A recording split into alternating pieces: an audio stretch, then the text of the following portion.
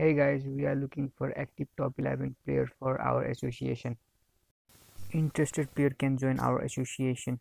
We are in Gold Division 1 league and this is our league status.